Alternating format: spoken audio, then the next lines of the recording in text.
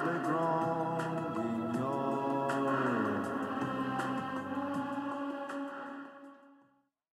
sa budeme rozprávať o Antarktíde, budeme sa rozprávať e, s pánom Petrom Valušiakom, ktorého možno už mnohí aj poznáte, lebo je to predsa len známa persona v rámci cestovania a práve takýchto polárnych výprav. Tak e, by som medzi nami poprosil, privítal, nech sa páči na pódium, pán Peter Valušiak.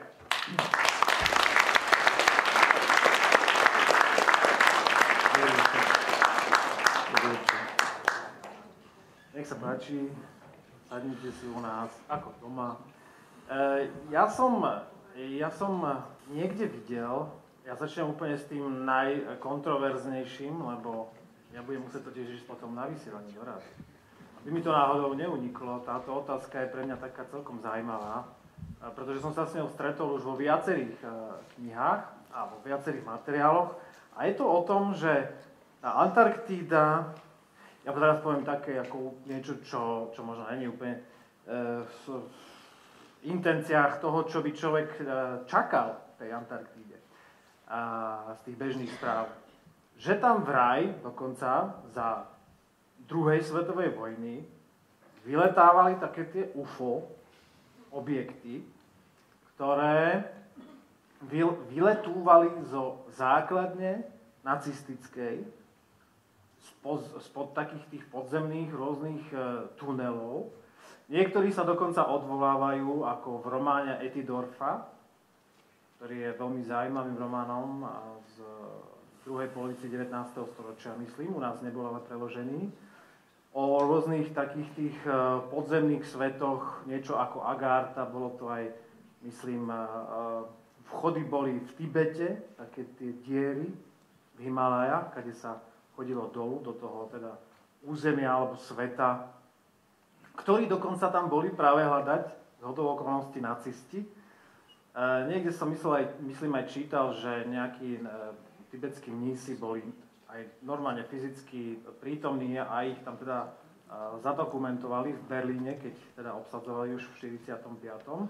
Čiže tá spojitosť, e, samozrejme, a netreba nikomu hovoriť ani to, že teda Hitler a nacisti či už to bol Himmler a ostatní. Ale máme, myslím, medzi, medzi nami aj kolegu Milana Pulmana, ktorý sa týmto uh, veciam venuje tak hlbšie, ale, ale aj teda v tej časti Mandragora.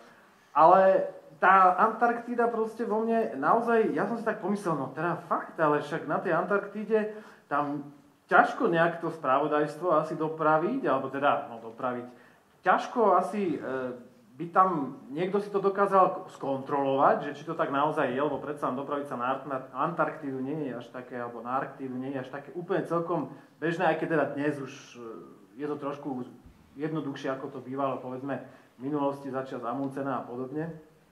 Tak sa chcem opýtať, e, vy ste tam nevideli asi takéto tie ufóny vyletávať tej diery? S nejakými označeniami vojenskými, nechcem povedať hakovými krížami, ale proste nejakým takým ako znakmi. No ja keďže tam chodím väčšinou, keď je polárne leto, tak väčšinou je 24 hodín svetlo a tá viditeľnosť teda takýchto vecí tam teda nebola, ale čo je fakt, tak počas druhej svetovej vojny tak nacisti si tam naozaj budovali svoje, e, mali svoju základňu, alebo vlastne také tie pokusné, kde to nie je žiadne ani tajomstvo, proste tie tunely a potom je to tam v podstate aj zostalo. Mm-hmm. A vlastne bolo to v oblasti Novolazarevskej a stanici, predtým tam bol Neumayer, len tá stanica sa teraz presunula inde, ale pôvodne vlastne tam boli, mali Nemci svoju polárnu stanicu. To bola vedecká stanica, samozrejme e, v určitých obdobiach čas vedeckých staníc, čo už bolo či už v Antarktíde, bolo kvázi takých ako keby polovojenských, ale v rámci tej druhej svetovej vojny vlastne, ak sa nacisti ako rozmachali, tak skúšali aj tam niečo. Samozrejme, tie pokusy boli dosť neúspešné, v podstate našli také tie odpalovacie rampy alebo podobne. Uh, úplne tú históriu nepoznám, ale čo sme sa motali po tých staniciach, tak nám tam miestni porozprávali nejaké takéto príhody, ale mm, Antarktida je taký kvázi taký strategický kontinent, ktorý nikto nevie, čo v sebe skrýva uh-huh. a každý si tam vlastne v určitom období ako keby pre istotu teda spravil základňu, že čo keď motika vystrelí alebo je tu niečo zaujímavé. Uh-huh.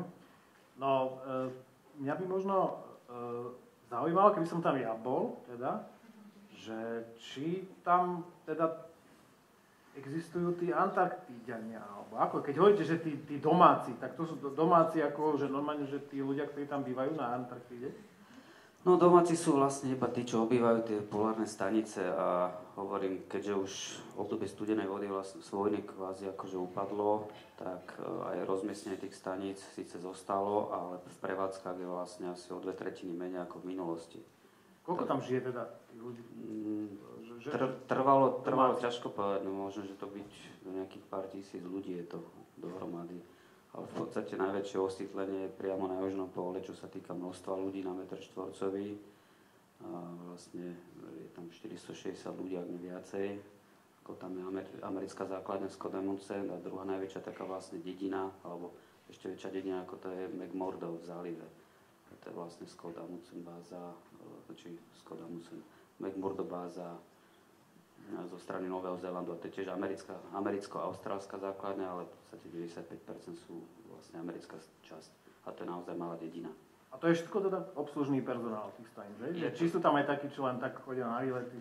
Ono, bývajú tam sezóne, že príde letná sezóna, je tam viacej ľudí, príde zima, čiže keď je tam tma, tak je tam akože menej ľudí, ale tých 460 ľudí je stály personál na južnom pole, čo majú Američania. Ruské stanice, čo sú či už Vostok, Mírny alebo podobne, tak to je posadka 20 ľudí a podobne, čiže žiadne veľké kvanta. A v tom článku, ktorý robil teda aj e, kolega, tak v tom článku som sa teda dočítal aj to, že respektíve utvrdil v tom, že naozaj teda sú tam tie e, americké e, stanice okolo, alebo teda vojenské základne, lepšie povedané, okolo polá- polárneho pólu, severného pólu, ale mňa by zaujímalo, že e, ono je to nejakým geostrategickým e, miestom aj teraz? Alebo, alebo je to také ako teraz za čas druhej svetovej vojny, že keby motika vystrelila? No, bolo v podstate do nejakého určitého obdobia bola možnosť si vybudovať v Antarktíde stanicu a vlastne od určitého obdobia, od nejakého 86. roku je zakázané akékoľvek budovanie nových staníc a podobne. Takže do toho obdobia vlastne tam každý nasačkoval, čo mohol. Samozrejme zistilo sa, že tie prevádzky tých staníc sú nad rozpočty niektorých krajín. No a keď sa už budeme baviť vlastne konkrétne o Skodamucen, dajme tomu, tej, čo je priamo na južnom pole, tak je to dosť také zvláštne, lebo je to naozaj priamo na pole stanica, keby boli o pár metrov inde a zachovali by vlastne takú tú pietu toho miesta, proste, že ktorá niečo fakt dáva, teda, však aj nejaká história je s tým spojená, nič by sa im nestalo, len je to také, takéto, my budeme presne tu, proste každé tie, nejak tie väčšie národy majú trošku taký ten problém sami so sebou, že sa stále musia nejak búchať do prza, ukazovať, že lebo to je také smutné, viete, športovým spôsobom, dajme tomu dva mesiace alebo tri mesiace sa plahočíte niekde, zrazu dojdete na miesto, kde je kopec. McDonald. No, skoro, skoro podobným spôsobom, proste máte tam To nalinkované. isté menu ako tu. No tam máte normálne nalinkované, ktorým spôsobom, kade môžete vlastne sa približovať tomu južnému pólu, aby ste nezakopli odroty a podobne. O nejakú... v ktorej dobe môžete prísť a kde si vlastne tam môžete teda postaviť ten stan, čiže všetko je nalinkované a mm, neviem, no, není to také ani na športové, keď si v podstate prečítate tú históriu, ktorá bola dosť zaujímavá, či už dobíjanie južného pólu alebo proste severného, tak je to také dehonestujúce, no. Ale mám takú blbú otázku, teraz budeme kolega zo slovenskej televízie z jednej relácie, ale e, neposúvajú sa tie póly? Akože oni tam majú ten No, pól a teraz možno, že už Oni, nie je tam. oni plávajú ako v podstate, Že? tá Že os, tá os sa vychuje, lebo v podstate južný a severný pol to je len geografický bod, čiže on sa tam posúva, Američania tam vlastne je tam spravená tzv. ceremony place, kde puchnuté zastavočky sú, tam je taká, taká gula, Mhm, a kde sa, všetci, kde sa všetci vidia, no a samotný geografický pól je asi 100 metrov odtiaľ, proste taká tyčka, Áno. pekná, ale to, ktorú možno skoro nikto ani nezakopne, lebo stále musia posúvať ako pláve. No, takže teraz, teraz im dokonca tak vychádza južný pol, že skoro pri, pri takých schodíkoch do, do kotolne. No. Boh vie, kde to skončí na budúce, či kotolne posunú, alebo južný pol. No. No, blbé, no. Vy ste si pripravili aj e, nejaké filmy. O čom bude ten prvý? Tak ja som vlastne len tak, aby ľudia vlastne vedeli, že čo je Južný pol, vlastne čo je Južný pol, Antarktída ako taká, že čo to je za kontinent, takže z jednej z expedícií taká krátka ukážka. Poprosím, keby ju pustili.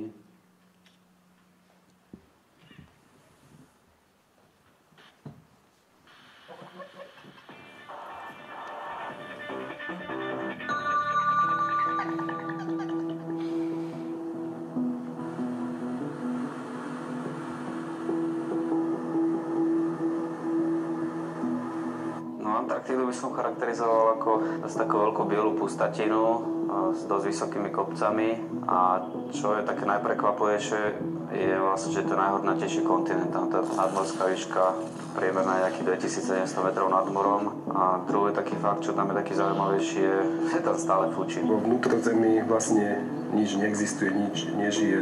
Ten život je tam nepriateľný pre človeka hlavne keď naozaj si myslím, že všetko je pohodička, je nejakých minus 9, slniečko a vôbec nefúka. Behom pár hodín v podstate sa počasie zmení na minus 40 pojavicu a vtedy tam človek bojuje o život. Pôjdeme týmto smerom, slnko budete mať vlastne tieň zárovno seba, takže držte sa týmto smerom. My sme tam mali veľký problém, keď dojdú tie mly tá vlastne biela tma, tak nevidíte vlastne, ktorým smerom máte ísť a v tomto počasí my sme sa museli dostať cez jeden ľadopád, ľadopád, ktorý bol plný trlín. Museli sme prejsť takou ľadovou stenou, výška asi 800 výškových metrov. Tá cesta ľadopádom bola vlastne príkladom toho, že čo všetko sa tam môže stať, pretože keď sme vchádzali do neho, bolo ešte ako tak vidieť. Sane sme si nehávali dole s tým, že urobíme výnášku s materiálom hore a vlastne počas tých 11 hodín, ak sme blúdili v tom ľadopáde, tak, tak počasie sa tak zmenilo, že nakoniec bol problém trafiť k saniam a tam už to naozaj išlo do tuhého.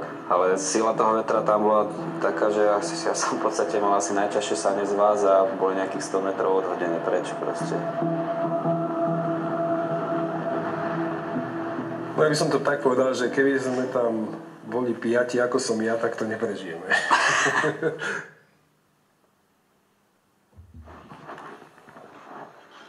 No toto je asi 5. alebo 6. deň pochodu. Konečne sa vyčasilo, už sa celkom dobre dá aj filmovať. No sú to neskutočne obrovské rozlahlé pláne,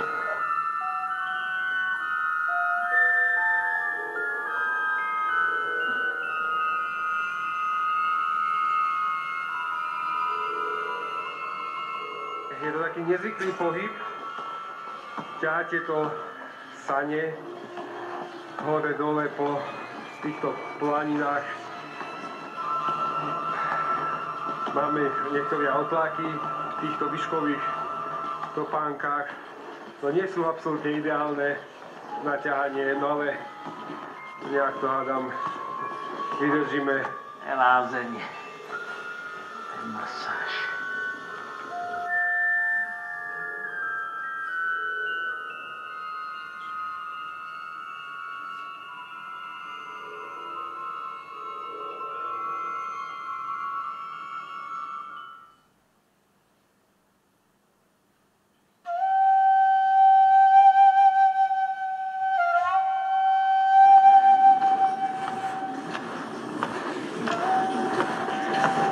Sa ide a neuvedomuje si, že šlapeš tú hodinu, keď klopíš dole zrák a naozaj sa ponoríš úplne inde. Prípadne len očami vnímaš to okolie. To je v závislosti od nálady, no ale väčšinou ti prebehne celý tvoj život pomaličky. A plánuješ a vymýšľaš prostosti a väčšinou ešte jedna akcia neskončila, už vymýšľaš druhú.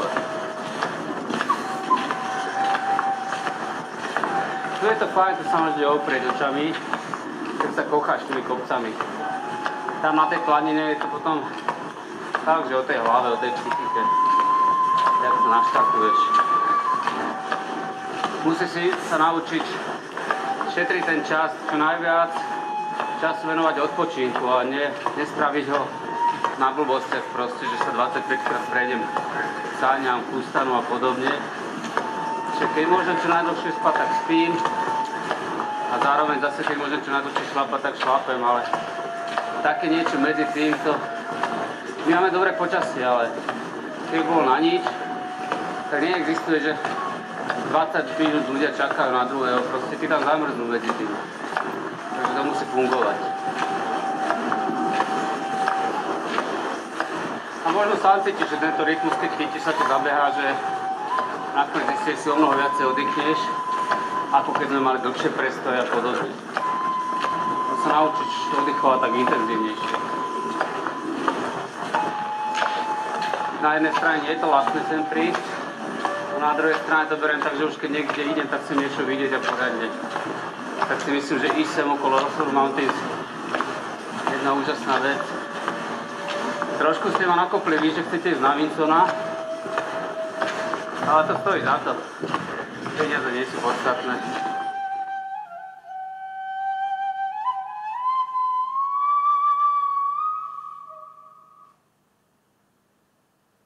Dorazili sme pod Vinson, je strašná zima, asi minus 25 stupňov. Takto som už dávno nevymrzol, vtedy mám úplne dopraskané, tak je to katastrofa.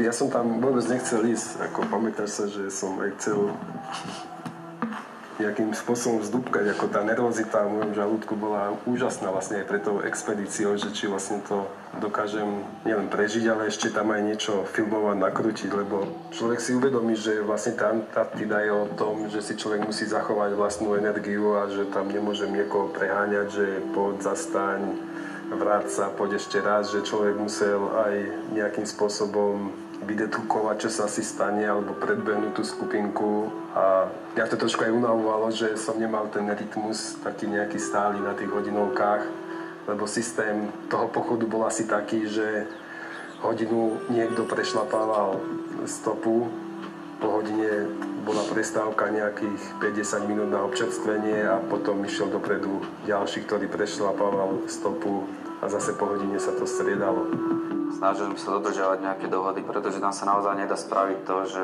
vyjdem zo stanov a teraz budeme vonku sa dohadovať a ideme toto, ideme toto, pretože v tej zime to nie je možné proste. Tam človek, je v spacáku, tak si musí rozmyslieť, že čo všetko má stihnúť a spraviť a v momente, ak z neho vylezie, tak automaticky to musí začať robiť. Všetko sa zmechanizuje, ten krok, hlava, proste všetko sa sústredí len na ten pohyb, čo má urobiť. Tam nedochádza nejakým citovým výlevom, lebo to vlastne odoberá energiu.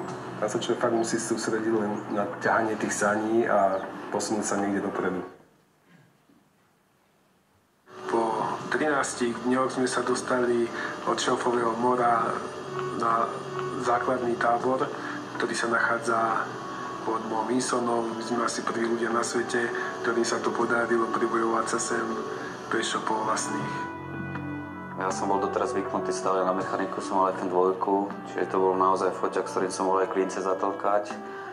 Teraz som išiel konečne na nejaké digitály maličké, kompakty, celý čas som mal na tele a čo čer nechcel, tak hore mi trošku, ak sa otvára, že tá lamela na, na objektíve, tak mi stále primrzala, takže tie fotky z vrcholu sú také do jednej tretiny. No to je tá zmena teploty, vieš, že keď ako z toho tepla paperovej bundy vyťahneš ten foťák do tej zimy, tak tej kondenzácie tam jednoducho dochádza, k tomu sa môžeš vyhnúť. No a čo je tam zase dosť nepríjemné, že v tej zime odchádzajú úžasne baterky, vlastne s tými baterkami človek musí nejakým spôsobom spolu nažívať, takže ich má stále na tele, stále s nimi chodí spávať, chodí s nimi na záchod, proste všade. No, výhoda Antarktidy je, že tam počas polárneho leta 24 hodín slnko, svetlo, takže no, mali sme solárne dobíjačky, ktoré vlastne sme dobíjali všetko, celú techniku, či už to bol satelitný telefón, alebo príslušenstvo do kamery, alebo do foťakov. Ak si hovoril o tom polárnom dni, tak ja som mal také obavy, že či tam vôbec zaspím, že či dokážem, keď slnko svieti, spať, ale my sme denne museli prejsť okolo 30 km a človek bol taký unavený, že proste lahol do toho spacáku a v pohode zaspal, aj keď slnko svietilo. No je to obrovská čistička, práčka hlavy, lebo čo je tam krásne, je to tá zmena tej oblohy a neustála. Proste, že keď som sa chcel pozrieť na niečo zaujímavé, tak som stále že v podstate tie oblaky, čo sa tam dialo na oblove, to je úžas. To som nikde inde nevidel, len tam. Vlastne tie hradky. Pretože tam, ak je tá silná veternosť proste na tých pár, pár metrov vyššie, tak tam sa to tlčie tie braky. Pri takýchto akciách sa mi najviac páčia vlastne zábery ľudí, lebo a terajšia technika naozaj už umožňuje v podstate robenie tých záberov veľmi rýchlo, tak niektoré tie tváre a detaily tých tvári v niektorých momentoch sú úžasné a majú obrovskú vypovedaciu hodnotu, čiže takže keď aj pri premietaní pustíte detaily nejaké tváre, proste netreba ani komentovať viesť, čo, čo sa tam deje, alebo vlastne o čom to bolo. Výborne, dobrý si. Do dokázali sme to! super, super! Vyzerá, áno, že tam je zima. No, tie tváre sa naozaj tak ako menili rôzne. Uh, neviem si teda predstaviť, že by som tam teda tiež takto išiel, lebo by som sa trošku asi aj bál. A vlastne z tohto pohľadu teraz, že tam naozaj človek musí, ako ste hovorili, šetriť silami a rozmyslieť si dobre, na čo má čo, čo si môže dovoliť. Zrejme teda k tomu predchádza aj nejaký tréning. Vy ste zrejme teda absolvovali nejaké tréningy, predpokladám, mimo Antarktídy, kde ste mali nejaké zaťažkávacie teda skúšky. Či? No, tak ja ako profesionálny amatér, tak tréning spočíval v tom, že chodí do roboty a zarobiť si na tom. A asi viete, že u nás zarobiť si tiež nie je najľahšie, takže keď bol voľný čas, tak samozrejme venoval sa trošku aj kondícii alebo podobne, ale v podstate samozrejme nejaký základ fyzičky treba mať, aj nejaké skúsenosti, ktoré naberáte pri iných akciách postupne, že nedá sa aj, že nie zajtra idem na mám peniaze a idem do Antarktídy alebo podobne, alebo na sever. No, fakt treba na to trošku skúsenosti, ale hm, hovorím, 70% je o hlave a 30%, alebo v podstate 60 hlava a 40% je fyzička. Mm-hmm. Samozrejme jedno bez druhého by nefungovalo a je to skôr o tej psychike, že zvyknúť si na to, že budete v nepohode, proste, že ten servis, teda nejaký ten teplotný komfort je tam úplne inde No a čo je výhoda, tak fakt tam sa tešíte z maličkosti, ten život je veľmi jednoduchý, proste je zhrnutý fakt na tie najjednoduchšie činnosti, proste ísť na záchod, proste neprizgujme pri robení potrebe nejaké, keď je veterno a podobne, alebo prípadne si nezašpiniť to oblečenie, čo máte na sebe nejak veľmi No, tak áno. No, lebo to sa tam občas stáva, že keď fúka ten vietor, tak vám to dá hocikade, no a potom kým je to primrznuté, najmä tomu na tej bunde, tak je to v pohode, ale keď sa to v tom stane privári či roztopí, tak už to není. No, nechcem, aby táto debata bola, že... Jasné, no, ale raz... toto ma naozaj zaujíma teraz, že...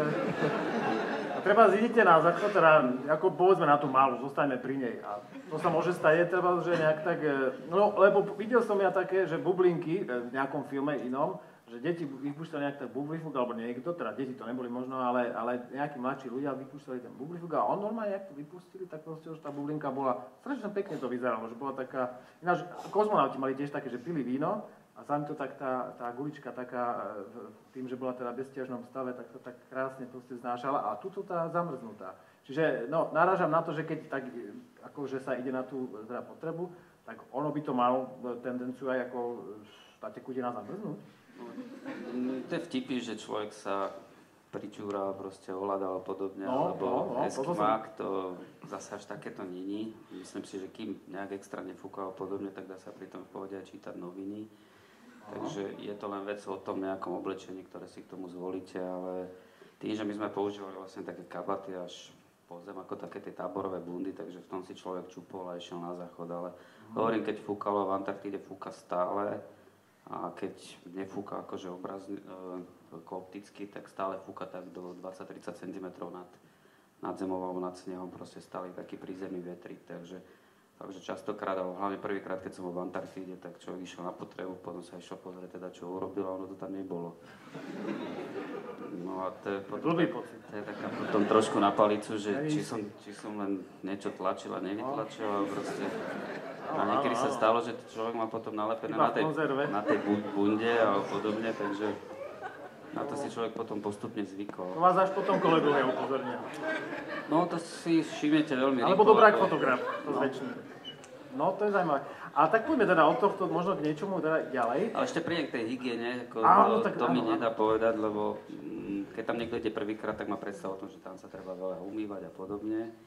Čože výhoda tam to moc nemusíte robiť, ale Pálko Varabáš si silou mocou chcel na jednej expedičke tam vlastne čistiť zuby a tak sme mu tak, snažil som sa mu vyhovoriť, že to je blbosť, proste jednak nemáme toľko benzínov, my sme si každé ráno alebo každý večer zohrievali kvôli tomu vodu. Ja som že s benzínom si si. Nie zamrzla.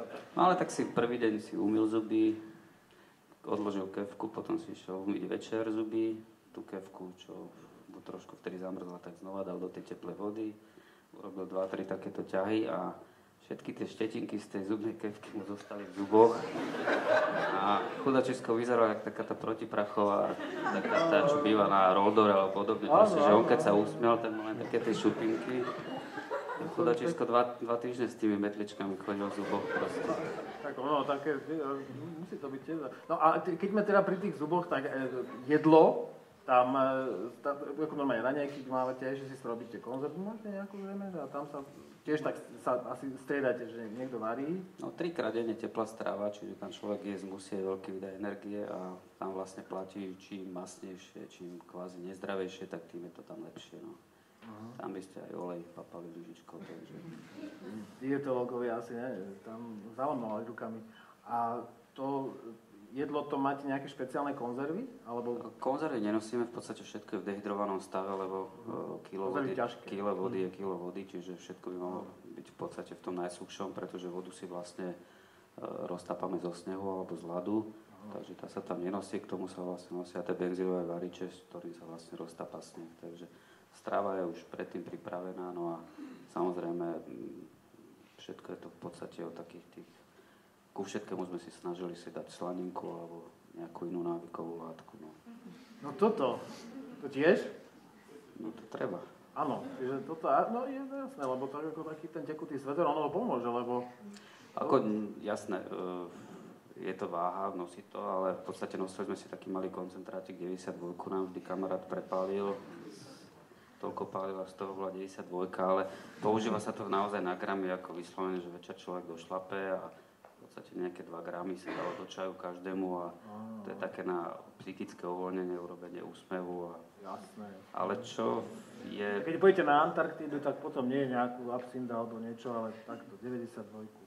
A čo je také paradox, napríklad keď sme boli v, na Severnom pole a medvede nám rozmlátili sa niekde, sme mali aj alkohol, tak my sme boli potom 4 mesiace abstinenská expedícia. Tak rituál, čo sme si každý večer, ešte prvý večer, alebo tak pár prvých večerov, kým nám rozmlátili sane, dávali ten, taký ten, vlastne taký ten grog alebo ten nápoj, tak ten rituál nám zostal aj bez toho alkoholu a človek sa v podstate aj tak potom škeril, takže v hlave bolo zakodované, že je tam teda ten alkohol a Áno, áno. fungovalo to. No. Keď vám rozmlatili tie sane, tak vás nechali na pokoji? Lebo vy ste mi hovorili, že ten medveď ľadový ako dosť ide po človeku. Ale už v tomto prípade tých, eh, stačilo, že fľašiach nejaký chlast a- 92% alky už mal aj medveď, ako možno vybavený bol. no, e, ten medveď, čo konkrétne, čo nám aj rozmlatil tie sane, tak nám trošku robil zle. E, Mali sme Či to bol ten istý? čo ste ho Myslím- odplašili? Myslím, že hej, lebo v podstate, samozrejme ako na pohľad ťažko to bolo rozoznať, pretože bolo v podstate ešte polárna noc a bolo len také šero, takže tie medvede vyzerajú všetky rovnaké, ale nezdalo sa nám pravdepodobne, že sa tam bude túlať viacej takýchto samotárov. No. Myslím, že to bol jeden, ktorý nás stopoval niekoľko dní. No môžeme si teraz pustiť možno... Ja by som ešte teda jeden pustil sever, ešte teda, aby ste vedeli rozdiel medzi severom a juhom vlastne, ak vyzerá a vlastne, aby som aj trošku odľahčil túto atmosféru potom. Uvidíte tam tiež potom niektorých pánov. Tak Poprosím poprosím, že si... ten severný pol.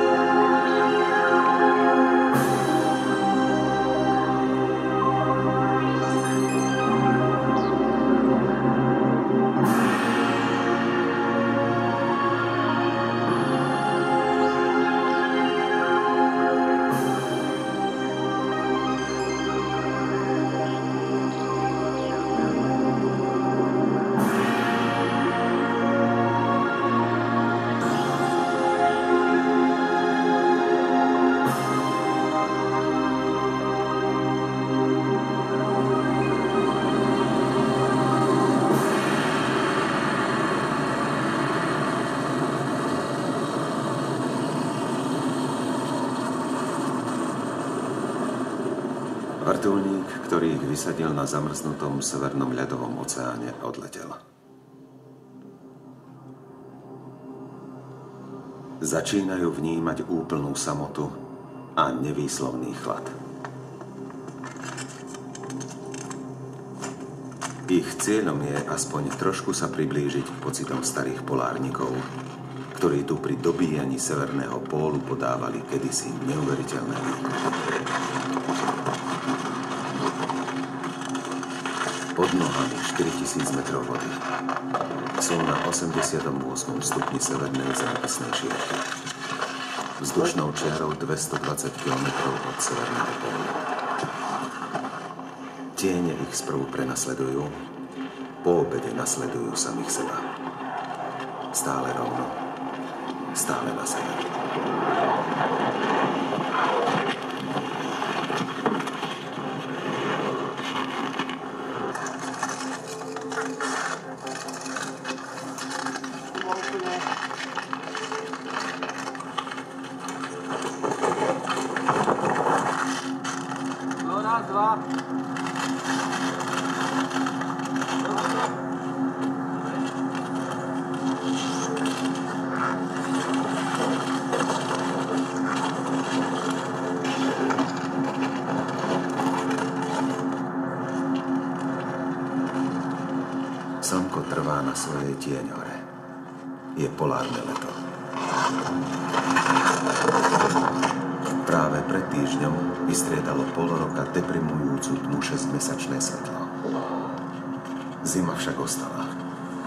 ordem à véspera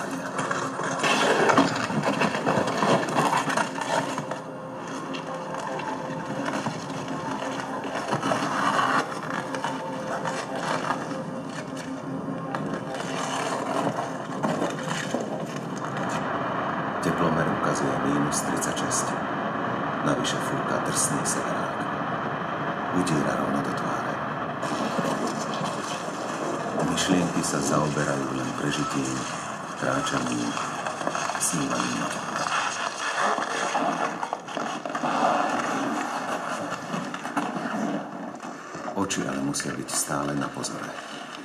Neustále driftujúci ľad sa môže kdekoľvek a kedykoľvek otvoriť.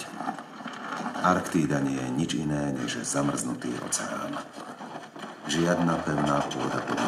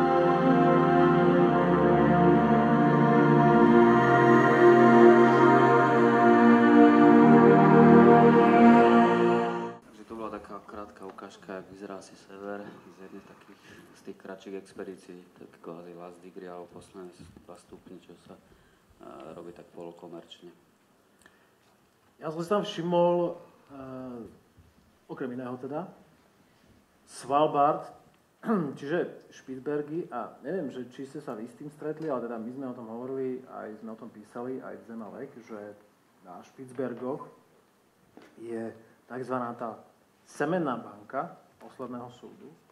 Vy ste o tom počuli? Alebo viete, máte tam Bol nejakú som sa tam pozrieť. Bol ste sa tam pozrieť? No tak to ma zaujíma, ako to tam vyzerá. Boli ste aj vnútri v tej banke? Áno? Ako dá, je tam ako aj, nie že voľný vstup, ako je tam taká časť, čo je kvázi pre turistov určité hodiny, určité dní, Mhm. kedy sa tam dá ísť pozrieť, ale vlastne je to taká archa Noémová, ako keby Áno, áno. v lade, v podstate sú tam zozbierané semena, alebo vlastne v podstate rastlín, nejakých plodov proste z celého sveta. Lepšie stále sa to ešte doplňa. Je to v jednej hore, vlastne správne taký tunel, kde je nejaká stála teplota a je to vlastne zakonzervované v snehu a vlade. No. No. Sú to semená, ktoré sú teda ani geneticky modifikované, to znamená, že tie, presne tie, ktoré, ktoré nám teda dávajú, tam sa, tam sa oni teda už nezgrupujú. No, ja, milí diváci, budem musieť teda odísť, mne teda naozaj dobre, ale mám to vysielanie, takže ja, som s vami, je to teraz také naozaj hektické ja sa s vami, pán Valošiak, rozlučím. Prajem vám všetko dobré a ďakujem pekne. A Marian. A ja sa s tebou učím do zajtra. Ešte, ešte potom bude priestor na to, aby si sa rozprával aj s, s pánom Budzakom, aj s e, divákmi. Takže prajem vám príjemný zvyšok večera a stretneme sa spolu v januári. Severný pol, sami ste to hovorili, že je to teda vlastne na vode a že to môže byť raz kopa, raz to môže byť len voda. A už sa vám také stalo, lebo ste o tom počuli, že teda nejakí polárnici na žrave niekde išli a naraz zistili, že je tam len voda, to potom čo sa robí. Či teda len tak sa vráti, že... No, jednak tá ľadová situácia sa tam stále mení, čiže e, naozaj nám sa stávalo koľkokrát, že boli miesta, kde bolo množstvo otvorenej vody, No a tam naozaj platí takéto pravidlo, že nedá sa ísť proti prírode, dá sa ísť iba s ňou, čiže buď počkať, alebo proste tam človek nič iné nevymyslí, čiže počkať, kým to zamrzne, alebo zafúkať tie lady dokopy a dá sa tam ísť. Ale samozrejme nebývajú to také plochy, ktoré proste by nikdy nezamrzli. Proste tam treba mať, byť pripravený na to, že treba mať čas a podobne. Lebo naozaj stalo sa nám pri expedíciách, že sme postavili stán, boli sme na lade a ráno človek išiel, vyšiel zo stanu, že sa ide vycikať a okolo neho všade voda. No, tak taká zúfalosť, no čo teraz, tak nič, len sadnú naspäť do stanu, alebo proste pozerať, že čo to s nami robí, kam nás prídu, je proste... Takže nepripúšťali sme si nikdy také situácie, že iba voda a nič sa potom s tým nedá robiť.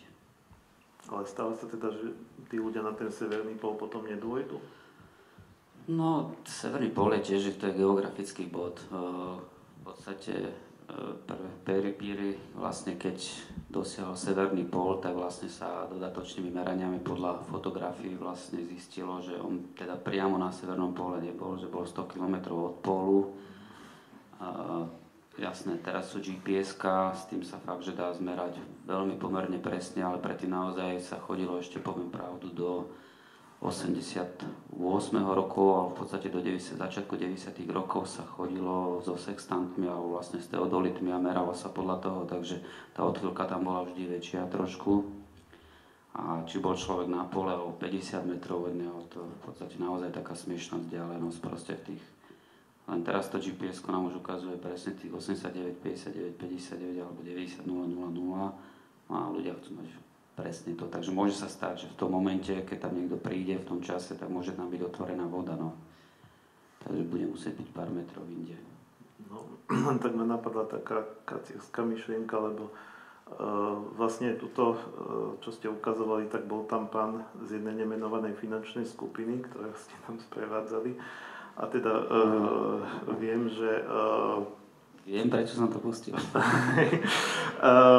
že sa teda z tohto stáva aj taká turistika, hej, že vlastne uh, princ Henry, myslím, že bol na nejakom pole alebo niečo takéto. A teda veľa, proste nie je to asi nejaká masovka, ale sú z toho teda nejaké turistické tieto zájazdy. Tí ľudia zrejme, uh, ktorí sú trošku majetnejší, si zrejme musia zaplatiť nejakého, niekoho, ako ste vy teda, kto sa v tom vyzná, kto ich tam zavedie. No a teraz sa stane napríklad v prípade toho severného pólu, že ten sprievodca vie, že tá, aha, nie, nie je tam ľad, bude tam len voda, tak toho turistu zavediem tuto a poviem mu, že aha, teraz sme na severnom pole, však ako to on spozná? Mm, to, to zase nie, to sa tam nedá takto predpovedať, že či tam bude voda, nebude však voda. keď už si to zaplatil, hej? A, uh, pravda je, samozrejme, komercia je v podstate všade, či už idete keď to poviem komercia. No a komerčné lezenie, či človek zo sprievodcom na Everest alebo na iné kopce, tu vlastne platí to isté. Asi tri týždne sa dá ísť vlastne takýmto expedičným spôsobom zime na, na pol. Hovorím, sezóna je tam veľmi krátka, ten počet ľudí je tam jednak obmedzený dopravou, lebo naozaj je na veľmi krátky čas je vybudovaná pristávacia plocha priamo na lade, e, cca 100-200 km od pólu Vybudovanie tej ľadovej základne pre pristávanie lietadiel je naozaj vojenský výsadok. Rusi z veľkého 86 nahádžu ľudí s traktormi, proste tí majú, dopadnú na vytipovanú e, pristávacú dráhu. Je, pritom je naozaj to koubojka, kope srandy občas pritom, lebo občas sa im tie padaky neotvoria a proste traktor zmizne dole, beha dole po oceáne niekde, proste to, to sú Rusi straty sa počítajú, takže to lietadlo má väčšinou pripravené nejaké zálohy, ale hovorím, je to vyslovene vojenský výsadok, spraví sa stanica, ktorá je behom dvoch dní kvázi vybudovaná a už tam pristávajú lietadlá, maličké lietadlá A24, ktoré sú kapacita ľudí asi 40 ľudí sa do nich zmestí plus náklad. Čiže žiadne nejaké veľké kvantá. Hovorím, takým expedičným spôsobom nás tam za rok ide nejakých 60 ľudí. Samozrejme takých, čo chodia že sa idú len odfotiť na pol alebo podobne, tak samozrejme to, to množstvo je väčšie, ale tých, čo sa neviem, idú trošku zašportovať a podobne, tak tých je výrazne menej. No a tým, že je to hm, všetko vlastne čartrová preprava, tak vlastne to stanovuje aj cenu celého toho zájazdu. Takže z nášho pohľadu je to fakt pre majetnejších, tí trošku, čo žijú západnejšie od hraníc, tak sa to dá na, na to našetriť aj z bežných príjmov, no ale u nás fakt je to len pre, pre tých, čo si viac si našporia, no. Alebo iným, spôsobom. No, môžete tak akože trošku, že keby tu niekto mal záujem, že asi koľko ho to To je od 30 tisíc eur vyššie proste. Samozrejme potom sú tam požiadavky na exkluzivitu, že ide len sám, proste, že nie vo väčšej skupine a podobne, takže to je, ale hovorím, tie sumy sú od 30 tisíc eur vyššie. Ale zrejme ten človek by mal mať aj nejakú kondičku, pokiaľ nechce ísť len tým spôsobom, že nechať sa odfotiť. Samozrejme, ako nejaká kondícia, ale ako som hovoril, je to skôr o tej hlave. Ako najhoršími klientami, keď už budem konkrétny, sú tí, čo si najviac o sebe myslia, že všetko vedia, majú najlepšiu kondičku a kvázi naj, najhorší klienti sú takí poloprofesionáli, či už horolezci a podobne, lebo tí si jednak nepripustia sklamanie, že sú v niečom novom, inom prostredí a hovorím, najlepšie človek, ktorý o tom skoro nič nevie, lebo ten je najtvárnejší a najviac poslúcha. No. Čiže vy si ich aj tak trošku pripravíte pred tým? No jasné, musím si toho, to, není to len o tom, že takto mi dajú peniaze na stôl, že ja chcem ísť, e, to je prvý krok, ako mám na to, ale druhý krok je, že či má na to aj tak, že tam naozaj môže ísť, lebo tam sa nedá fakt, že aha, dneska chcem končiť, zavolaj vrtulník, to, to tam nefunguje. Ako, jednak môže sa jednak pokaziť počasie a vtedy ten vrtulník tam pre vás nepriletí, to lietadlo nepriletí, tam, sú, tam je harmonogram na všetko pripravený už dopredu, čiže tam už keď sa rozhodne, že bude 20 dní na lade, tak on tých 20 dní na lade bude. Samozrejme môže byť nejaká emergency situácia, že sa niečo stane, ale to už sú vlastne záchranné akcie, takže do tých sa vlastne ide len vtedy, keď sa naozaj niečo stane. Dobre, takže to sme spravili trošku reklamu, keby to niekto mal záujem, môže sa potom obratiť. Ja by som možno uh, zbytočne už nenaťahoval ten čas. Uh, v rámci Vivitu už asi len pán Budzak, vy ste zostali? Hej, mohol by som vás teda pozvať na pódium a dali by sme teda priestor vašim otázkam. A, prípadne teda aj Ľubohuďo sa tu nachádza? Ja vlastne on išiel do radia vysielať, takže kto má otázku na ňo, tak volať do štúdia. Uh, mohli by ste prosím rozsvietiť v sále, myslím, že takto zvykneme robiť. Ja nie som teda zvyknutý toto moderovať, ale mám pocit, že vždy to svietilo, aby som teda videl, že kto sa hlási.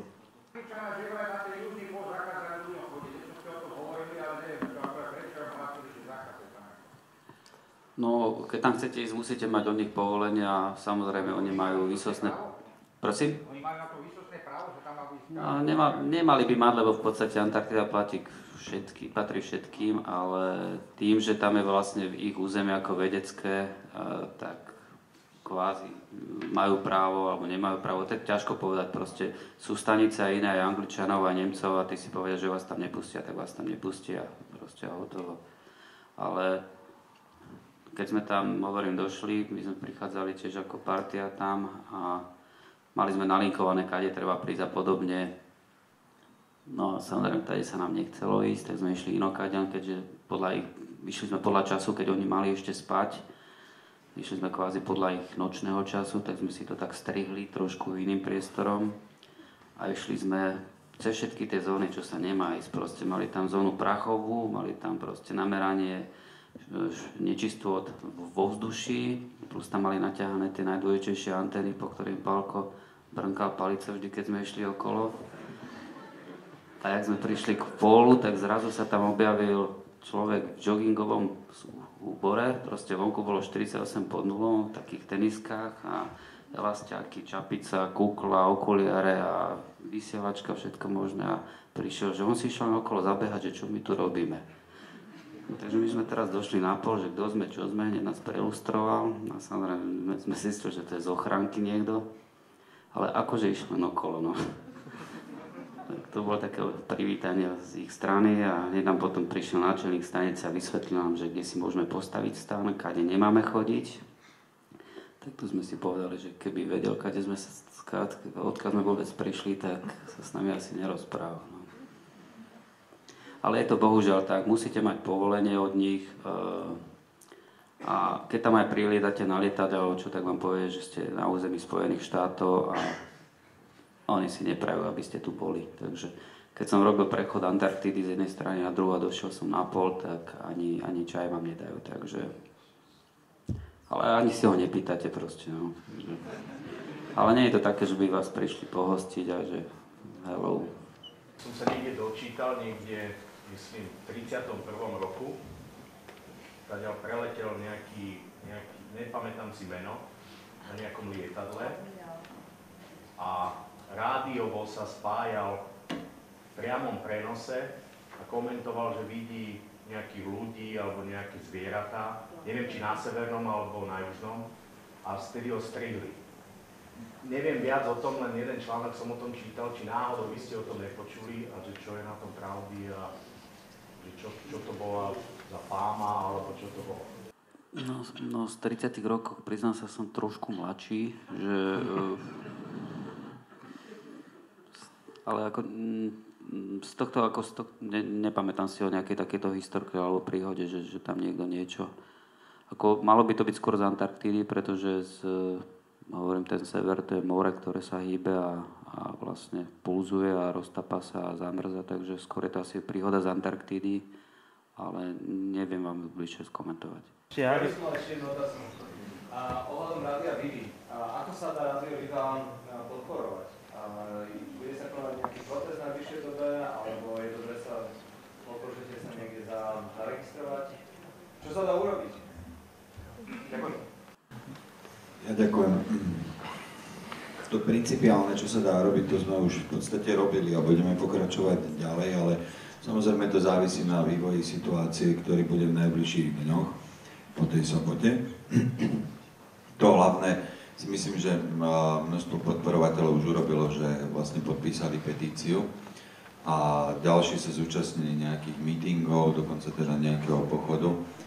Um, toto je naozaj komplikovaná otázka, kde na jednej strane my chceme, aby tá podpora na našu záchranu a záchranu, na vysielanie Rádia Viva bola, na druhej strane s tým nechceme uh, nikoho zaťažovať. To je také typické na Slovensku, že na jednej strane by sme chceli niečo robiť, na druhej strane sa buď hambíme, alebo to nechávame na nikoho druhého.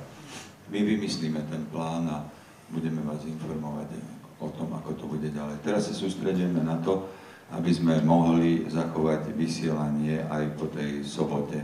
To sú tie veci, na ktoré zatiaľ teda budeme, nie sme schopní celkom odpovedať pretože sa vyvíjajú, ale myslím si, že pokiaľ sa dostaneme k tomu, že v nedelu vysielať budeme a že si nás budete môcť naladiť, tak potom budeme pokračovať ďalej vlastne v tých uvedomovacích krokoch, pokiaľ nie budeme musieť zvoliť inú stratégiu. Dnes sú to dve stratégie.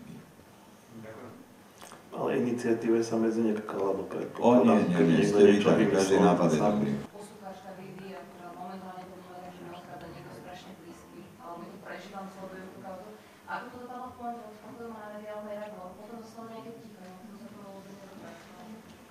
My sme uh, prišli na mediálnu radu. Na mediálnu radu boli pozvaní aj zástupcovia Corporate Legal, ktorí tam neprišli. A bol tam pozvaný aj zástupca vlastne predseda rady.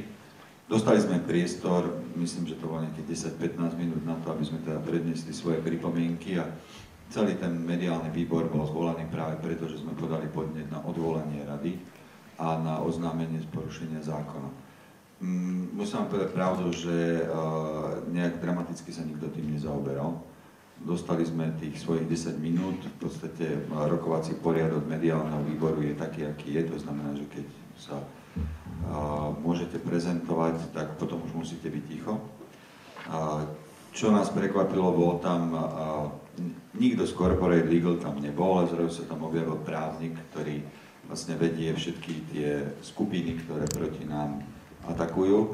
A prišiel tam teraz zase v mene a sú splnomocním niekoho iného a sme predpokladali, že nemôže byť ani pripustený, ale pripustili ho Takže sa vyrozprával, potom sa vyrozprával pán predseda a nakoniec mediálny výbor pojal tak, že uh, zobrali sme na vedomie, budeme ďalej sledovať situáciu a pokiaľ dôjde k porušeniu zákona, tak nariadíme poslanecký výbor a začneme sa zaoberať možno aj nejakou rekonštrukciou rady. A pre nás bolo trochu frustrujúce, že sme priniesli dôkazy o porušení zákona a záver bol taký, budeme sledovať, či nedošlo k porušeniu zákona.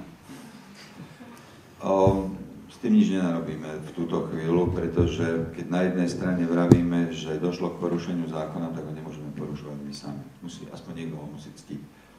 Potom bol pochod a na tom pochode uh, vystúpil podpredseda mediálnej rady, bol pán Vyskupič, ktorý v zásade vyjadril podporu IBE a celému tomu snaženiu a tomu, že sám je poslucháčom a že vie proste, čo je to profesionalita v tom rádiu. Ale v zásade e, tam to asi skončilo, že teda pozbudzuje ďalej aj za boj o vývu, aj, aj všetkých ostatných. Presunuli sme sa pred najvyšší súd, kde sme v zásade ako e, dali najavo, že keď už najvyšší súd je inštitúcia, ktorej rozsudky nikto nerešpektuje, tak by to mal byť najvyšší súd, kto si zjedná aj nejaký poriadok.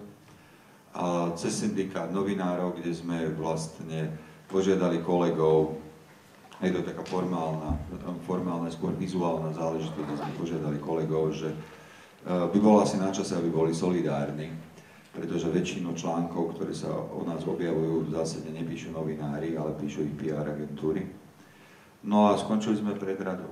No, to bolo v zásade, je to nejaká vizualizácia toho protestu, aby to bolo vidieť a tak ako ste povedali, jediný, kto priniesol správu o tom, bola web stránka Zemavek a potom portál Rádia Viva, ale v zásade sa to nechytilo ani jedno médium, nič takého. Takže nepovedal by som, že to utíchlo, len sme pochopili, že tá stratégia, ktorú musíme zvoliť, musí byť zrejme nejaká iná. Ja mm, absolútne chápem všetkých, ktorí sú už apatickí zo všetkých chaos, vrátane goril a podobných záležitostí. Ťažko sa v tom orientujú, najmä keď my proste čelíme naozaj celému súboru právnikov a PR agentúr, ktoré podsúvajú rôzne informácie. Kým bola prestávka, tak som si pozeral v rýchlosti web a zistil som, že vlastne spoločnosť Corporate Legal už začala komunikovať smerom von, doteraz bola ticho, teda ústami pána Maruniaka, ktorý to určite nenapísal, dali vedieť, že e, Viva, nie Viva, ale že na frekvenciách Rádia Viva sa už čoskoro začne vysielať a že sú hlboko pobúrení a sklamaní hystériou, ktorú okolo tej Rádia Viva vyvolali jeho a bývalí prevádzkovateľia, ako nás už nazývajú, čím sme poškodili samotné rádio Viva. A keď si to preložíte, tak v zásade môžeme v túto chvíľu hovoriť, tak ako to aj zaznelo vlastne na výberovom konaní, z ktorého my sme boli sklamaní, že neexistuje žiaden skutočný projekt Inforádia, ktoré zvíťazilo v tom. A neexistujú žiadni ľudia, ktorí by robili Inforádio. Tá skutočná pravda o tom je, že existuje mediálna skupina alebo akákoľvek, proste skupina to nazvime, lebo, lebo tých prívlastkov by tam bolo veľa, ktorá chce vývoj. Tak ako to zaznelo aj na tom vypočutí mediál, nie mediálneho výboru, ale Rady pre vysielanie a retransmisiu, kde ako doslova zástupca vtedy Corporate Legal, uviedol, nám sa páči Rádio Viva, sami sme poslucháčmi Rádio Viva a v našom projekte Inforádia chceme nadviazať na všetko, čo robí Rádio Viva a prevziať celý poslucháčsky kmeň. To sa v normálnej slušnej spoločnosti volá, tak sme to prišli šlohnúť. A my sme si mysleli v tú chvíľu, že o, výborne, len pokračuj, pokračuj ďalej o tom, ako máš rád Rádio Viva, ako sa ti páči, ako by si chcel prevziať ten kmeň, pretože tu sedí 9 slobodných pánov a týchto 9 slobodných pánov snáď jasne pochopí, pretože inak všetci ostatní sa vyjadrovali, že majú rád, radi Rádio Viva a chceli by nadviazať na Rádio Viva. Vrátane slov prevziať posluchácky kmeň. Takže sme si povedali, je tu 9 slovotných dám a pánov, ktorí snáď vidia a počujú, že je tu uh, zo štyroch firiem, sú tu traja plagiátori, ktorí hovoria, že by chceli namalovať ten originál. Ale je tu autor originálu, tak snáď je to logické. Hm? A vidíte, výsledok bol, že ak si spomeniem, nebudem to citovať presne, ale aspoň parafrázovať, Rada sa rozhodla prideliť licenciu spoločnosti Corporate Legal a jej projektu Inforádio, pretože podľa názoru Rady najlepšie splnil podmienky pre vysielanie a rozvoj vysielania v slovenskom médiu. Takže tak. Naozaj hovorím oveľa dlhšie ako môj kolega. Ale strašne zaujímavé, nie?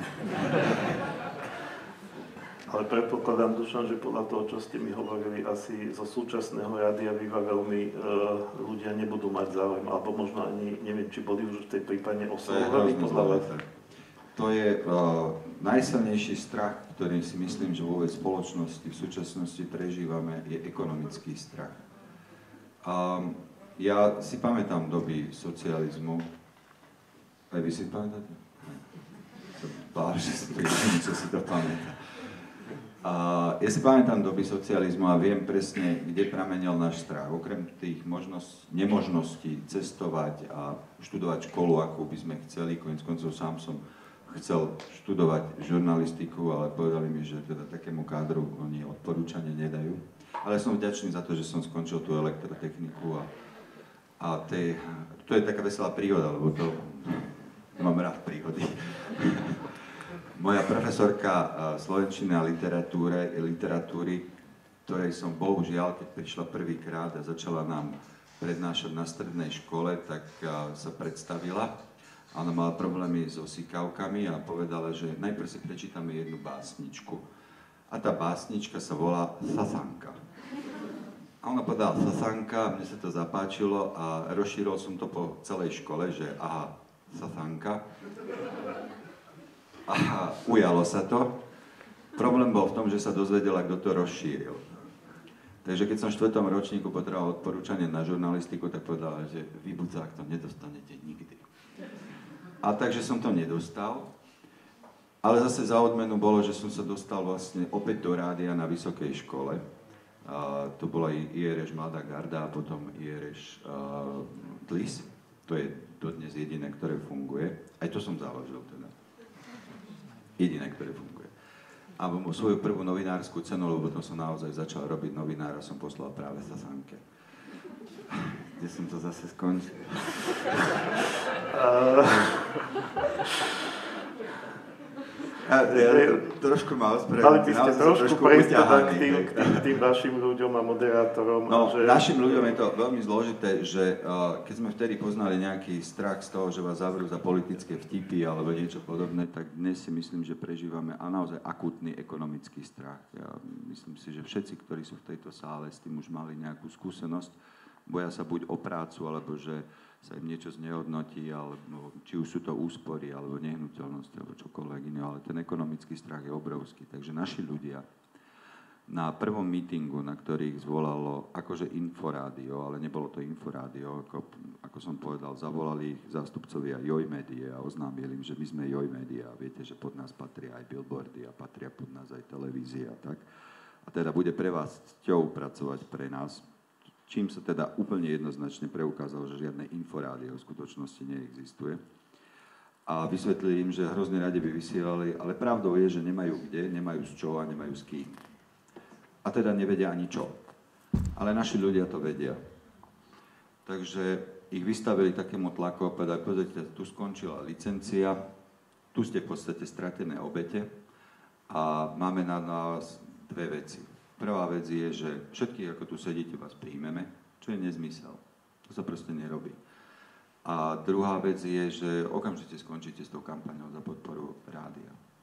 A vtedy naši kolegovia vyjadrili úplne jednoznačnú podporu a povedali, že toto je Viva.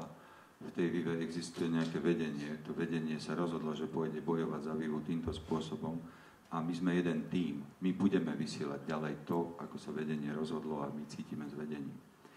Samozrejme, takéto proklamácie sú vždy zaujímavé na začiatku revolúcie keď tá revolúcia pokračuje ďalej, treba byť vnímavý a chápavý k ním a tá situácia, oni sú proste dennodenne atakovaní tým, že aby skončili, pretože si poškodzujú svoje profesionálne meno, čo je ťažký nezmysel, naopak si ho budujú v túto chvíľu a že sa im to zráta a podobne. Ako to, to je obrovský tlak. Navyše nevedia, čo bude presne s rádiom, takže im postupne stále znovu a znovu opakujú, že majú pre nich zmluvu a že by chceli a podobne. A teraz už začali komunikovať o tom, že ak aj nezačnú na celom Slovensku, takže začnú minimálne v Bratislave a začnú v západoslovenskom kraji a začnú s programom, ktorý sa ako úplne nápadne podobá tomu nášmu programu. Stále, ako pre nás je frustrujúce asi to, že keď a nechcem, aby to bolo frustrujúce, nechcem, aby sme sa dnes rozišli všetci frustrovaní. A, takže tak ako som povedal svojim kolegom, frustrácie beriem na seba. To frustrujúce je to v tom, že prídete na radu, prídete na mediálny výbor, donesiete všetky dôkazy a poviete, Inforádio je podvod. Klamali, že majú ľudí, klamajú, že, klamali, že majú personál, klamali, že majú jasnú štruktúru. Toto všetko klamali.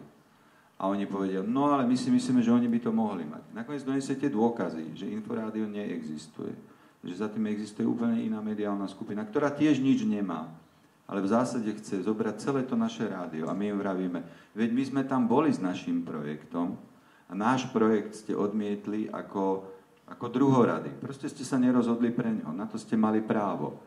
A dali ste to niekomu, kto tvrdil, že má iný projekt. A teraz úplne pokojne žijete s tým, že náš projekt, nás ako autorov, ste odmietli ale tento istý projekt necháte urobiť tých, ktorí tvrdili, že majú iný. To je nenormálne kocúrkovo a to je proste totálna arogancia moci.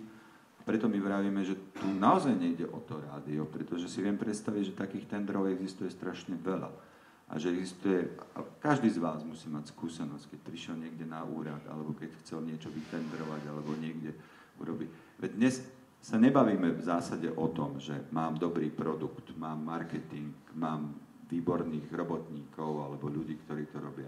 Dnes, keď idete do tendra, tak prvá otázka je, tak poďte si sadnúť a teraz sa porozprávame, koho tam poznáme. Kto tam je a keď ho poznáme, tak povedzte, na čo zaberá.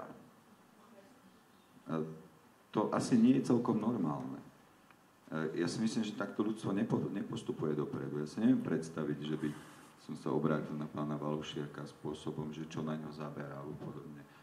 Asi musíte mať kondíciu, asi musíte mať cieľ, asi musíte mať hlavu v poriadku a všetko ostatné. Tak toto prestáva tu fungovať. Takto proste nemôže tento národ pokračovať. A už vôbec nie vo víziách typu urobíme malé Švajčiarsko. Či tá istá finančná skupina, s ktorou zápasíte, rádio, môže zobrať vašu značku Viva a vystupovať pod ňou, aby sme si to ako my ako poslucháči nepomýlili, že predsa sa to rádiu podarilo a vysiela znovu a potom to bude úplne niekto iný. A druhá vec, a to je druhá otázka, ste povedali, že vás prekvapilo, že slovenské e, médiá nepíšu o, o kauze Viva vás ako človeka skúseného v médiách to prekvapilo, keď isté denníky, týždenníky a televízie patria pod finančnú skupinu, s ktorou súperí? No, tak najprv tá druhá otázka. Máte pravdu, no neprekvapilo. Neprekvapilo a napriek tomu ja som stále zastanca takého naivného názoru, že táto doba je ako každá iná rozprávková doba. A v každej rozprávkovej dobe je vždy dosť miesta na rytierstvo a odvahu.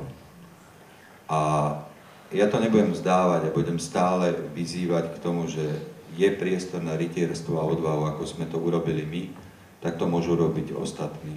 A odpoviem, vždy ma prekvapí, keď sa žiaden rytier a hrdina nenájde. Pokiaľ ide o tú prvú otázku, že či môžu vysielať, no nie môžu. A Milan Kodaj, ktorý tu sedel, je autorom uh, známky Rádio Viva, uh, ktorú sme spoločne, tak, tak sme sa dohodli, zdieľali. A Rádio Viva sa pokúsili dostať do konkurzu a v rámci toho ako mm, dramaticky zautočili na práve ochrannú známku, ale ochranná známka v túto chvíľu je vyňatá z konkurznej podstaty. Takže my by sme ju mohli používať normálne ďalej a teda aj ju budeme používať ďalej. Je to naša značka. My sme ju vymysleli, my sme ju stvorili, my sme ju registrovali. Ale keď hovoríme o arogancii moci, ak hovoríme o tom, že niekto nerešpektuje rozhodnutie súdu, ja vám nemôžem v túto chvíľu zaručiť, že niekto bude rešpektovať to, že nemá tú známku a začne pod ňou vysielať. Chystáme sa aj na tieto kroky, aby sme to urobili, ale mm, neviem vám povedať za nich. Rádio Viva je známka, ktorú sme privedli na svet my. Že si ju arogantne neulúpia a nebudú pod ňou sa snažiť vysielať, to vám neviem zaručiť. Ja mám otázku. Je mi jasné, že vám to nikto nepovie do očí, ale um, chcem sa spýtať, že čo si myslíte o tom, že či práve na to rádio vy vás zautočili aj preto, že ste, vysiel, uh, že ste odvysielali to mlčanie a že teda, že, teda, že toto rádio vysiela niečo proti tomu všeobecnému systému a tak. A že je ich cieľom akože ponechať isté funkcie toho rádia, založiť nejakú, nejaké iné rádio s tými funkciami, ktoré však bude ovplyvňované, pohodlné, áno, ovplyvňované tým systémom. Určite viem, že pokiaľ bude uh, nejaké iné rádio, tak mlčanie vysielať nebude. To viem s istotou. Ale mm, je veľmi lákavé povedať, a tak ako ja zvyknem hovoriť, zasurfovať si na tej kvázi politickej protestnej vlne a povedať, že áno, poďme teraz sa byť za pravdu a za všetko, pretože mlčanie je to, čo nikto nechce počuť. No, nie je to celkom tak útoky na rádio začali v roku 2009 a vtedy ešte mlčanie nebolo. Ale pravdou je, že keď začali používať argumenty, prečo by sme nemali pokračovať v licencii a keď sme sa dostali, tak mlčanie sa dostalo na stôl a používalo sa ako vážny argument. Dokonca od niektorých poslancov teraz v mediálnom výbore v pondelok, ktorý sa konal, som takéto výčitky počul, zneli, tam vysielajú také blbosti a tam vysielajú také vážne veci. Pán predseda, dokonca ten človek sa pomýlil a povedal, že súdruh predseda, potom sa opravil. Pán predseda, neporušuje náhodou rádio Viva v túto chvíľu licenčné podmienky a pán predseda sa postavil a buchol do stola flagrantne. A na to sa opýtal, máte na to podnet?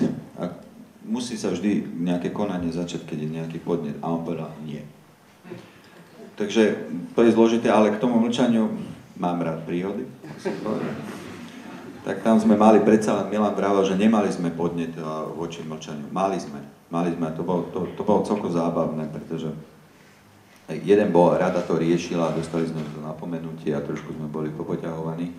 A potom to zase poslali, keď sme sa ohradili, tak to napísali ako, že e, podnet je bezpredmetný. Ale ako vznikajú súvislosti ľudí, keď chcú e, na vás zautočiť? E, Tibor mal v jednom z mlčaní e, spomenul vlastne, ako bol konštituovaný, konštituované prvé, prvé politbíro po sovietskej revolúcii. A okrem iného to spomenul v tej súvislosti, že sa otváralo múzeum, židovské múzeum v Moskve, kde sa na otvorení zúčastnil aj premiér Putin, prezident Putin. A ten okrem iného spomenul, že Židia v ruskej histórii zohrávali veľmi vážnu rolu a konec koncov po VOSR prvé politbíro malo zloženie, Marian mi možno pomôže, ale myslím, že spomenul, že 80% bolo židovského pôvodu. To bol historický fakt a vtedy to vlastne ten Putin vytiahol ako vec, ako svojím spôsobom nejakú poklonu Aspoň tak to bolo vnímané a múzeum sa otvorilo, bolo to úžasné. Tibor to takto aj uviedol v jednom z. A to sa dialo niekedy v 20 rokoch, teda myslím tu Politbiu. A predstavte si, že sa našiel poslucháč, ktorý napísal, že si myslí, že Rádiu Viva by mala byť odňatá licencia, pretože svojim správaním vedie ku všetkým veciam ako antisemitizmus a xenofóbia a bla bla bla, pretože uviedol fakt, ktorý inak teda uviedol Putin. A celé to zabodkoval pre mňa úžasnou vetou. Ja hovorím o 20 rokoch. A on napísal, že tento podnet podávam z úcty k obetiam holokaustu. To, ako toto mu vzniklo v hlave, to skutočne neviem. A si predstavte, že aké kombinácie. A stačí, aby niekto nemal aspoň trochu poriadok v, dedi, v dejinách, tak je schopný povedať, že sme, lebo sme to počuli, že sme popierači holokaustu. Na základe toho, že porevolučné politbíro bolo v tomto zložené. To sú nezmysly. Nikto z nás nie je antisemita. Ja mám dokonca obrovské množstvo priateľov, veľmi dobrých, ktorí sú praktizujúci Židia. Nemám s tým problém. Ja sa duša, mňa toto vôbec neprekvapuje.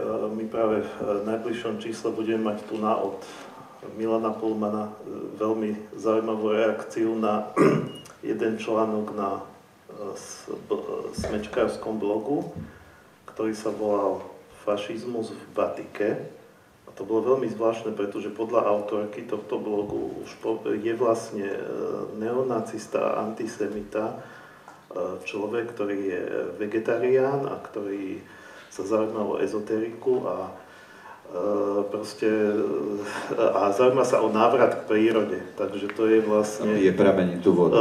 Ja pije tú... Neviem, či to bolo o tom, že v tom našom časopise teda máme takú tú časť, ktorá sa týka uh, vlastne tých vážnych tém, takých tých politických a máme tam aj časť o, tie, o tých rôznych alternatívach, či to bolo myslené potom špeciálne, takže pre Boha nečítajte to, lebo tam je niečo uh, nejakých takýchto veciach. E, niečo vám na nich poviem. Keď Zemavek, keď sa začal konštitovať Zemavek, tak ja som raz prišiel na to zasadnúť, že tam chodím, hej, a ja som prišiel na to zasadnutie toho výboru a teda tam, že, že včera som sa rozčulil ako Rom, lebo som bol v Tesku a chcel som kúpiť jogurt, ktorý je jogurtom, hej, Janka, viete. A som povedal, že ide ma poraziť z toho, že tam je asi 200 druhov jogurtov, ale ja som strávil pol hodinu, aby som našiel jogurt, ktorý je z jogurtu. Lebo drvá väčšina je so želatínou, alebo je s nejakým, a, s nejakým škrobom, alebo s neviem čím. A naozaj som našiel z toho iba dva druhy jogurtu. Tak sa hrozne smiali. Ale boli takí zlatí, že mi zverili takú rubriku, ktorá sa volá potraviny, teda alebo otraviny. Otraviny. Potraviny, áno. A ja som tam začal, ja som povedal, že nebudem robiť nič, ja budem len chodiť a budem proste ako prinášať v čitateľnej podobe to zloženie tých potravín. Ohromne sa bavili. Keď sme tam prišli prvýkrát, tak na stole bola Coca-Cola a vinea a nejaký z koncentrátu a podobne. A potom si prečítali prvý článok, potom druhý článok a naposledy to skončilo tak, že odkedy čítajú tie blbé potraviny, takže nie sú schopní nakúpiť za menej ako jednu hodinu, lebo, le, lebo čítajú všetky tie malé písmenka a začali si vymieňať informácie o tom, že kde dostať takú tú malú lupu, čo sa dá strčiť do peňaženky, aby si tam mohli prečítať tie malé písmenka. To, tým som chcel povedať, že ako Tibor začal postupne a, a jeho kolegovia začali vychovávať nás k nejakému novému pohľadu na svet, tak my zase, my drobní, ostatní nevzdelanci, máme obrovskú zásluhu na tom, že začínate nakupovať veci, ktoré sú stráviteľné. No, snažíme sa. Stále v redakcii Kofola, ktorá obsahuje fruk- e, glukózovo fruktozový No ide vám to pomaly, chlapci, ale... ale, ale už je tam tých svinstiev niečo menej ako v coca Už spomínaný Palo Barabáš, hej, to je inak tiež elektrikár, môj spolužiak, tak ten priniesol taký úžasný blok, ne, nemyslím to pejoratívne, ale tam priniesol, priniesol informáciu, že, že už ani to hovno nie je to, čo bývalo. je to vážny článok, veľmi, veľmi odporúčam, nájdete to na internete. Dobre, Dušan, dúfam, že uh, uh, otraviny do januárového čísla dodáte na čas. Lebo ešte ste nedodali. Jasne. Musím dobojovať o tú výbu. Ja chápem zase, že nestíhate, ako máte dôležitejšie veci v tejto chvíli. Uh, dobre, ja by som to teda rád uzavrel uh, s tým, že uh, v tejto chvíli nemáme, nemáme uh, termíny týchto našich talk show na budúci rok, takže pokiaľ budete sledovať našu webku, uh, našu facebookovú stránku, tak sa to dozviete. Takisto pošleme určite hromadný e-mail všetkým predplatiteľom, až to bude jasné. A aby sme teda nekončili frustrujúco, tak by som rád všetkým zaželal šťastné a e, pohodové. E, nepovedal by som, že bohatého Ježiška, lebo o tomto by to naozaj nemalo byť. A ďakujem pánom za to, že prijali pozvanie. Vám ďakujem, že ste prišli a dobrý večer alebo dobrú noc.